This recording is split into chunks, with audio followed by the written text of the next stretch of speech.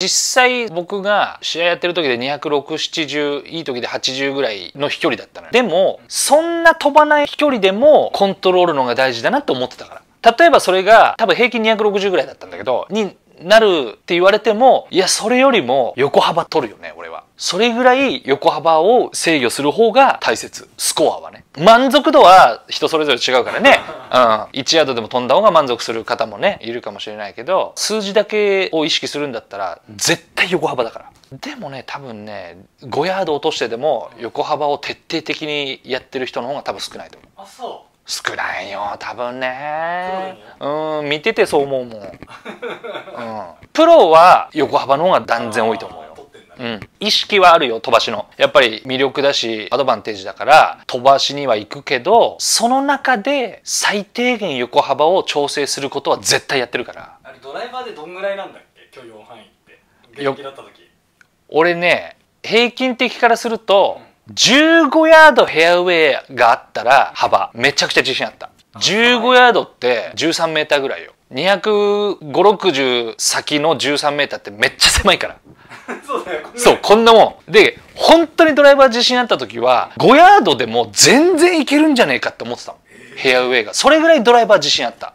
あれだってなんかフェアウェイキープ率みたいなの1位になった時あえっ、ー、とねアイアンね。あアイアンだっけ？アイアン。ショートホールの累計スコア1年間の1位だった、うん、全プロゴルファーで日本の。あうんとねカブカブ。あカブの、ね、カブ。チャレンジ。そう。2012年とかかな。のパー3の1年間の全部のパー3のホールのスコア合計が1その時どんな感覚なの？どんな感覚で打ってたの？いくつバーディー取れるかなって打ってた。言っていい、うん、いいその時はスライスだから、うん、あそうなの？そうえドローじゃないの？ドローじゃなかった。無理やりとは言わないけどラインを出すため要は置きに行くため要は横幅だよね、うんうん、のためにフェード打ってた。ドライバーなんかビッグスライス打ってたからね。そうなの？うん。そうドライバー何年だったっけな。俺北京でトヨタカムリカップっていうのがあったのよ。それで中国でやってその時4位だったんだけど3日目まで単独トップだったのよ。それで確実ベストスコア賞ってあって初日は俺2アンダーだったのよ。で2日目3日目ってベストスコアベストスコアだったのよ。で現原、本当の原生よ。そう。生原をもらえるわけよ。で、1日目、2日目、3日目、4日目ってアップしていくのよ。2日目と3日目のベストスコア賞取ったから、こんなのよ。うん。日本円ではそんなでもないんだけど、原にしたらもう、嘘でしょっていうぐらい、こんな原もらって、で、賞金もあるじゃない？そう、だからね、あれは美味しかったなと思って。その時の試合も全部これ、スライス。そう、うん、でもねあの時スリクソンの Z725 っていうドライバー使ってたんだけどシャフトが宮崎のインディゴ 7X っていうの使ってて44.75インチの D2.5 だったんだけどもうね絶対フェアウェイ外さないなと思ってた。そんぐらいその時ドライバー良くてその時は本当に5ヤードフェアウェイあれば戦えると思ってた。勝手に。そんぐらいドライバー自信あったその時。その前後の23か月ぐらい、うん、は相当自信あったねドライバーはずっとねトンカチ卒業してからフェード打ってたのああうんうんアイアンもそうだったんだ。そうアイアンもねもちろんドローも打ってたけど8割フェードだったね。何も考えなかったらでもそう普通に打ったらドロー。だからその時は朝練習するじゃない、うん、スタート前。その時はドロー打ってんのよ。何も考えないそう。で試合でドライバー一発目スライス打つでしょ、うん、でセカンドドンピシャの距離が残るとするじゃん。自分の番手の、うん、したら普通だったらドロー打ち行くのだけど全然スライス打ってたから。いきなりそこで打つの？そういきなりいきなりスライスに打ってたから。でもそれが決まるのよ。ええー、何それ？そうだから練習場のドローは結局ウォーミングアップなのよね。あただね。そう。球を捕まえられてるかどうかのチェックだけしかしてないのよ。初めて打つその、アイアンのフェーズはそこなんだ。そう。1番ホールのセカンドショット。そうなんだ。そう。それが決まるからだから乗るよね気分もね。だからもうティーショットもイメージいいしでセカンドそのまま同じイメージじゃない。だからちゃくちゃよかった。でもドローヒッターなのにドローを打ちたくなんないもんなんだ。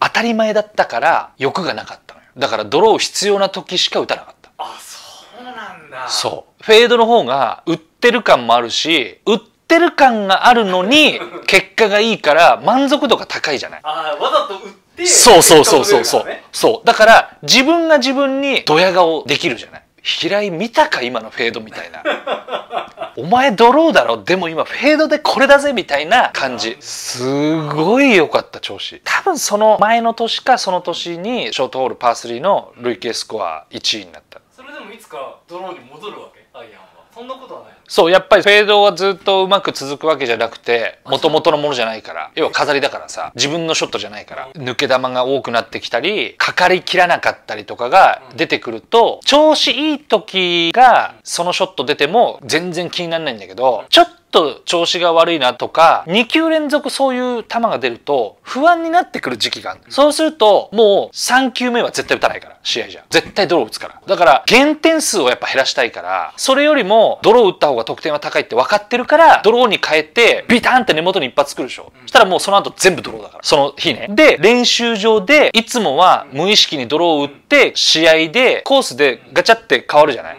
その時に帰ってきたら練習場でフェード打ってるから。もうそうなったらもうダメよね。いつもと違うことやってるじゃない。何フェードの確認してんのって。うん。そんな必要ないでしょって。もともとフェードヒッターじゃないんだから。だから間違った練習なの、それは。でも結局優勝したのは2014年とかだからうん。フェードのバブルみたいなのが過ぎて、うんドローになってからだうん。ドローでした。ドライバーがフェードのアイアンがもうカンカンっつって。なってるそう、俺ね、一番きついドローっていうのは、その太平洋実りの最終日の11番のセカンド。右ピン奥だったんだけど、右のほんと5ヤードぐらいよ、ピンが。もうほんと右端。でも右にバンカーがあるバンカーの右から回してるから。そんなにわかんないうん。8番アイアンで打ったのね、セカンド。覚えてんだけど。で、ドローで、8番でぴったりの距離なの。だけど、ドローにして、アドってるから、ピンハイに行くわけよ。ドローでね。だからもう右からピンのハイにボンって落ちたのを覚えてる。で、それ決めてバーディーだったんだけど、もうそんなの出ちゃったら、これ打ちたくないよね。決まってんだから。しかも止まってんでしょそう止まってんのそう、こうやって打ってるから。この前のねそう。だから、そういう球が決まり出しちゃったら、もう逆にフェードが不安になっちゃうから。で、かかるのかなそう、だから18番のセカンドショットもドローだから。右全部池なの。で、右奥のピンなの。で、ドローだから。そっちから回すのそう。もう右に出しとけば帰ってくると思ってるから、かかりきらないってことはないと思ってるだからね、その時はね。じゃあナチュラルドローなのに余計かけてんださらにもそう。きつめだよね、ちょっとね。うフックフック。ナチュラルドローでかかりきんなかったら、自分でガンって頭叩きたくなっちゃうから、確実にかかる角度でかけてるから。イメージ的には斜め45度にピンに向かっていく感じ。そんなに？そう。ズバーンそう。きついイメージ。あイメージうん。そういう感じで打ってるよね。だから普段の練習と違うことをやっちゃうと、そういうことになっちゃう。でもそんなボールはあれでしょ？これでみんなドロー練習し始めるけどさ、うん。いないらないしなマッチマンはドロー全然いらない。ね、どっちかに曲げた方が、もちろんゴルフは楽だけどあ、楽なんだ。楽。曲げた方が楽。あ。楽なんだ。楽だけど一般営業よっぽど高級コースでメンテナンスびっしりしてない限りはどんな球打ったって止まるからミッショットじゃなければ。あそうなの？あもうインペリアルなんか ドライバー打ってズドンで止まるから。グリーンね。ああ、うんドライバーで全然止まる。そんぐらい柔らかくてふわふわ、うんそれこそこんな絨毯みたいなグリーンだから。えー、止まるんだ片足で5秒そこに立ってたらスパイクマークつくから。あとついちゃう。あとついちゃう。それぐらい柔らかい特に最近のインペリアルは柔らかいね。何か意図があるのかもしれないけどだからすごい高級なコースとかメンテナンスがしっかりしてるコースっていうのは芝生も細いしサンドグリーンって言ってグリーンフォークを刺した時にザクって砂の音がするのよ。やっぱそういうコースって本当のナイスショットじゃないと止まらない。ごまかし効かないっていうかちょい髪はもう奥にスルーしちゃうから。そういうとこあ。んだ普通の一般のあるあるあるあるある。20年前の利根ゴルフクラブっていうとこはそうだったこんな硬いグリーンでこんな速いグリーン一般であんだと思ったもん俺。すっげえいいコースだった。あそう。グリーンね。だからそういうちゃんとご褒美と丸抜がちゃんとはっきりするグリーンっていうのはやっぱいいよね。プロが実力はっきりそうそうそうそうそうそうそう。余計差がつく。そうそうそうそうそう、ね。うん、やっぱラッキーパンチはねなかなまかうだようん。止まりやすいんだったらそうなっちゃうから。そうそうそうそうそう。そういう時にあれだね差が出ちゃう本当に。そうだね。こんな感じかな。こんな感じで。うん